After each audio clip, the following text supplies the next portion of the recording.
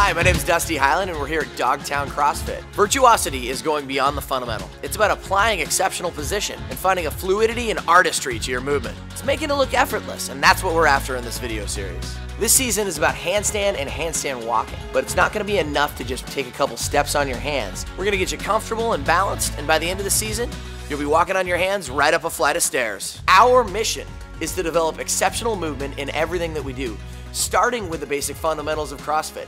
And that's what virtuosity is about. In last episode, we introduced our first obstacle. And our first obstacle was this short piece of material uh, designed for protection of your head for handstand push-ups. We introduced it as a obstacle to climb up and climb down. We're gonna take it to the next level now. We're gonna use those mats, we're gonna stack them up, we're gonna create a a higher obstacle for you guys to step up and step down on.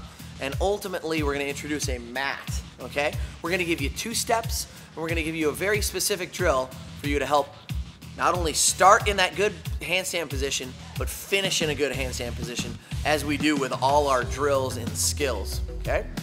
Our first drill, we'll be in introducing and using a small foam piece on the wall, and we're gonna step down and away from the wall. At this point, our feet actually pull from the wall, just like our wall pull drill. We're gonna step down and away, always moving downward before we move upward and over an obstacle. The next drill that we'll hit will be going up that obstacle. So we're gonna start in a handstand, we're gonna kick to handstand, all right? But at this point, I want you to drive your heels to the wall. Yes, you're gonna be in a, uh, a, a, greater distance from the wall, your hands are gonna be a greater distance from the wall, and you're gonna be on the floor.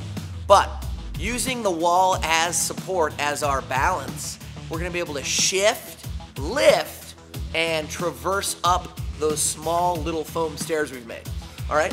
One cue for you here, and this is key, is once your feet are on the wall, we need to press long through the shoulder girdle and begin to shift before we lift. Now, if your shoulders allow you to do this, shifting and lifting tends to get a little easier. That's my special cue today, all right?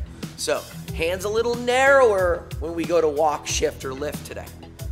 We're gonna show you how to press long through that handstand. Feet are now on the wall. We're gonna step up that stairs and then finish it in a solid handstand kick down.